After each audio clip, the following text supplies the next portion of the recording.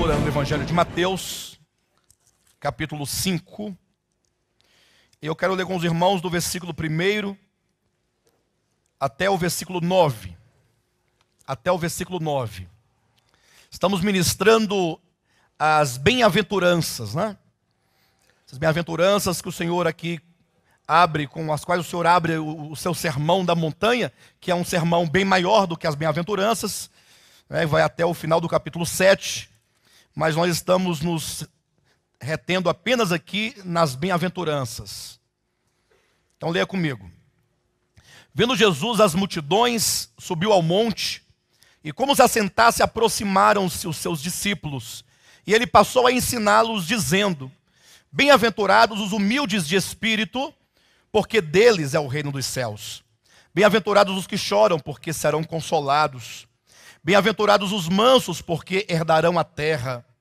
Bem-aventurados os que têm fome e sede de justiça, porque serão fartos. Bem-aventurados os misericordiosos, porque alcançarão misericórdia.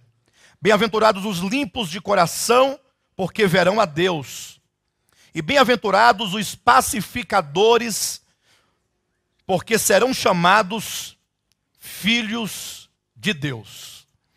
E esse é o ponto que nós queremos abordar essa manhã, esta bem-aventurança do versículo 9: Bem-aventurados os pacificadores, porque deles é o reino dos céus.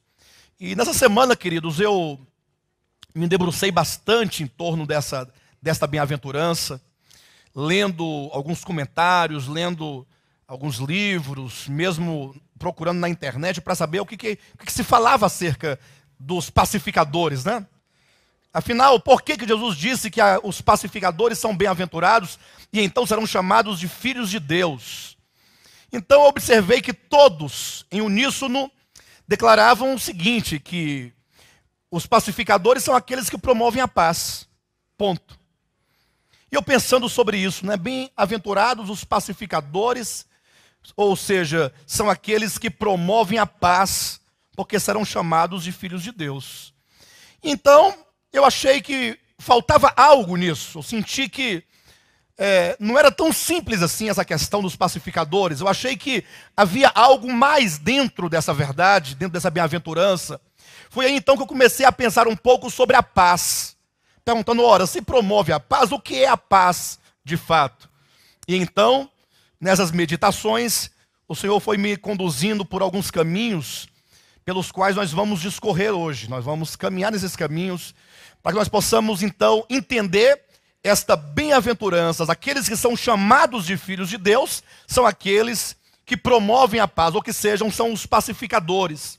E a primeira coisa que eu queria chamar a atenção dos irmãos acerca dos pacificadores é que esses que promovem a paz, não são simplesmente aqueles que promovem a paz entre as pessoas, ou que promove a paz entre famílias, ou que promove a paz entre cidades ou estados ou nações, mas, sobretudo, o pacificador é aquele que consegue se pacificar a si mesmo no seu coração. É aquele que encontra uma paz firme, uma paz duradoura dentro de si mesmo. Isso porque de nada adianta nós sairmos por aí promovendo a paz se nós não promovermos primeiramente uma paz interior. Haja vista que todos os conflitos exteriores, todos os conflitos com os quais nós nos deparamos diariamente, eles não existem a priori. Eles são fruto, são o resultado dos nossos conflitos interiores, das guerras interiores que nós travamos dentro da nossa própria alma, então essas guerras interiores, elas acabam se manifestando exteriormente na forma de guerras. E por mais que eventualmente alguém liga para o pastor, liga para um obreiro, liga para uma pessoa, pastor, socorre que minha casa está pegando fogo. E aí a pessoa vai lá e tenta promover ali aquela paz. Só que se o problema da guerra, se o problema da, do desespero, se o problema da angústia não for tratado na sua origem, na sua alma, então o máximo que nós conseguiremos é apenas um, um intervalo entre duas guerras. É por isso que nós vivemos altos e baixos, vivemos crises, né? até que de repente nós conseguimos alcançar a paz. Mas agora eu estou bem, agora eu estou tranquilo. Aí você tem aquele momento de uma suposta paz, e você então começa a gozar de uma certa tranquilidade, mas de repente, quando você menos espera, vem uma nova avalanche de situações que roubam a sua paz interior.